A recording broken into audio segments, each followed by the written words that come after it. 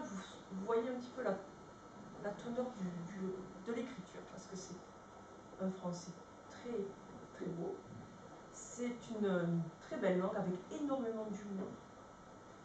Euh, moi, c'est très bien ciselé, c'est très bien fait. Je vous lis juste un petit, un petit, euh, passage, parce que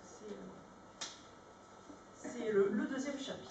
Donc c'est le deuxième chapitre, alors il y a 30, 30 ou 40 chapitres, et chacun a un, titre complètement. N'ayez pas peur. Il était temps. Ma mère souffrait de migraines, de perte de mémoire, de troubles de la concentration et d'exténuation chronique.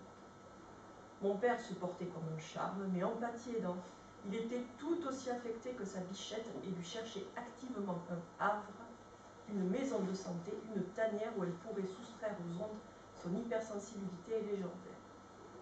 Je sais qu'elle mépris rencontre ce diagnostic et j'ai moi-même l'air d'ironiser sur les symptômes présentés par ma mère. Mais je peux témoigner qu'avant sa première cure en zone blanche, elle vivait un enfer.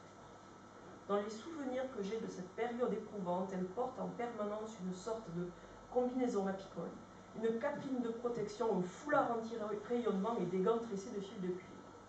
Cet accoutrement lui vaut d'être un objet de suspicion, tandis que je m'attire au contraire des regards attendris et compatissants. Moi, dont la mère s'est convertie à un islam si rigoriste qu'elle ne dévoile plus un centimètre carré de chair ou de chevelure rassurante. Et qui sait si elle ne va pas se radicaliser, se faire exploser, bardée de TATP et de boulons tout prêt à cribler les infidèles qui sont légion dans le voisinage. Autant dire que nos rares promenades tournent régulièrement au psychodrame, avec retour précipité à la maison d'une bichette éplorée sous son niqab. Du coup, elle ne sort plus, elle gît sur les coussins de son canapé majon, parle d'une voix chavirée et agite des mains dolentes en direction de son staff, Marquis, le père, Kirsten, sa mère à elle, qui est complètement, complètement et moi, respectivement époux, mère et fille de cette élégante épave. Donc, ça commence comme ça, et l'élégante épave va se, c'est la maman, donc va se s'épanouir euh, dans, le Liberty House, et il arrive évidemment plein de choses,